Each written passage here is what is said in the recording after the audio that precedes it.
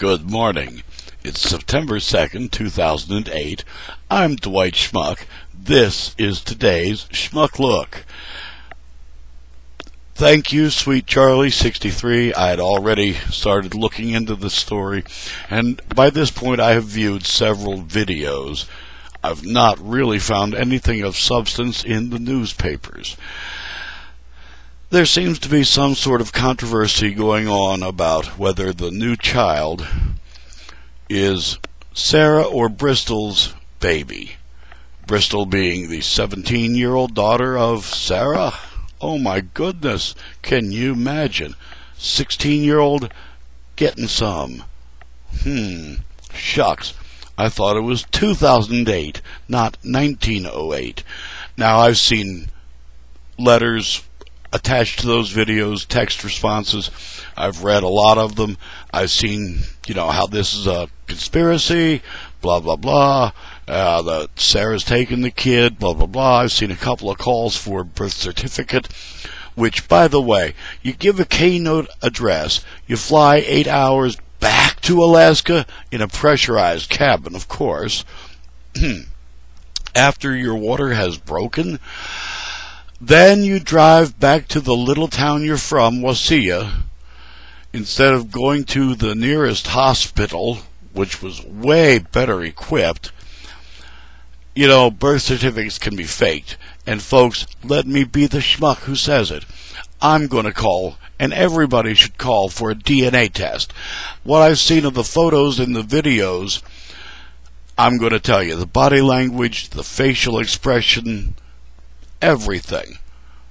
Bristol is that baby's mother.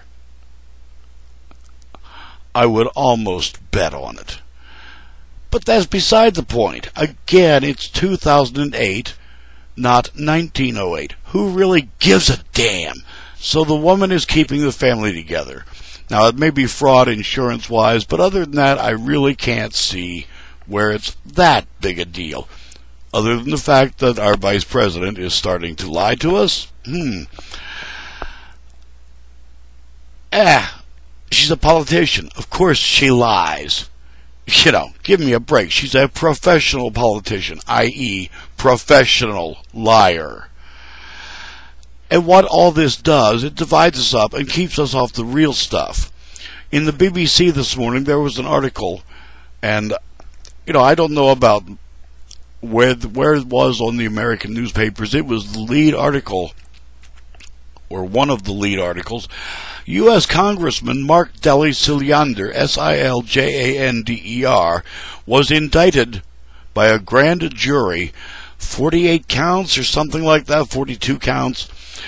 Uh, he's been linked to an Al Qaeda and a Taliban supporter, big financial supporter.